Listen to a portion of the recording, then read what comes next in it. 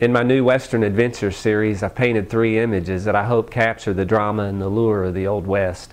Times were definitely simpler then and much more active, as men had to face challenges and dangers that we often don't even dream of facing today.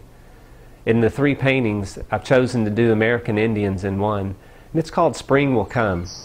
And I titled it that because in the image, the Indians are facing a brutal, difficult, harsh land. And the, the cold, I can't even imagine how cold you must be in, in the clothes that they wore and the temperatures where they lived. Um, but as they faced their day, they knew that a time was coming when it was going to be bountiful and warm and, and a happier day. And that's what I want to portray in this. Sometimes we go through difficult times, we go through difficult situations, and we think it'll never end. And uh, my word to you is through this painting is spring will come. It, it will be over. In my painting, Night Jitters, it's an action picture of a cowboy who is taking care of the herd and set, trying to settle them down after something has spooked them in the middle of the night.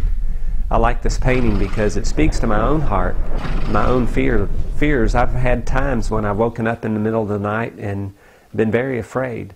And I just say a prayer, uh, entrusting my family and myself to the Lord and he calms me down. In my painting, Slippery When Wet, I'm portraying a cowboy who's charged into the water, ignoring the danger that could exist, and he's after something a, a calf, a, a herd, who knows. But he goes into situations that are dangerous to himself because the job has to get done. There's a farm to take care of, a family to provide for, or a friend to rescue, who knows. But that's the adventure that I'm after in my Western Adventure series.